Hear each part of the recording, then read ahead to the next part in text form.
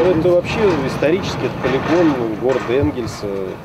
Вот таким образом его было решено реконструировать. О том, что раньше здесь находились тонны мусора, напоминает лишь эта куча. Да и она, говорят специалисты, через месяц покроется зеленой травой. Отходы теперь будут поступать в цеха сортировочного комплекса. Стекло, пластик и картон по отдельности будут направляться по специальным лентам под пресс. Процесс здесь в большей степени автоматизированный. Однако следить за ним и отбирать фракции из общей кучи мусора все равно будут люди. Это единственный в России полуавтоматический сортировочный комплекс, потому что здесь используется и ручная сортировка. Почему? Потому что морфология нашего мусора не позволяет пока делать полностью автоматический комплекс.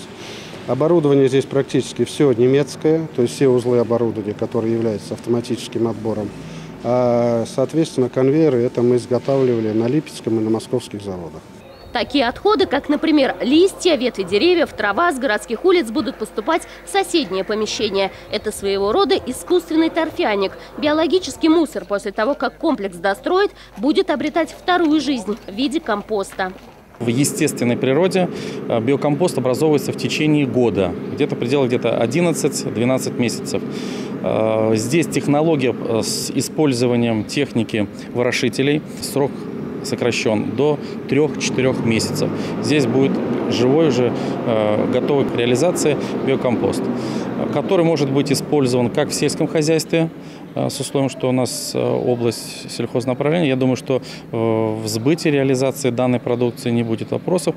Рядом с комплексом площадка, похожая на бассейн. По словам специалистов, это конечная точка переработки, так называемая карта полигона. Отсортированный мусор будет поступать на хранение именно сюда. И хотя на первый взгляд это обычный котлован, на самом деле это сложная инженерная конструкция.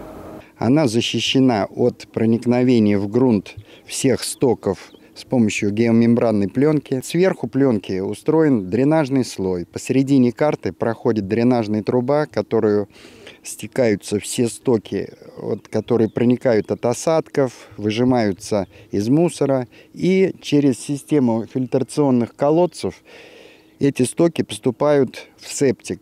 Когда полигон заработает в полную силу, он избавит от мусорных свалок сразу несколько районов левобережья. Аналогичный, по словам чиновников, появится в скором времени и на правом берегу. Я надеюсь, и следующий завод, который будет э, на правом берегу и а, обеспечивать все районы правого берега, будет на такой же основе, потому что она, эта схема достаточно хорошая, правильная, и она всех устраивает.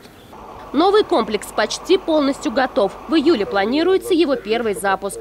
Эллада Абжалимова, Станислав Жижин, Сергей Зацарный, РЕН-ТВ, Саратов.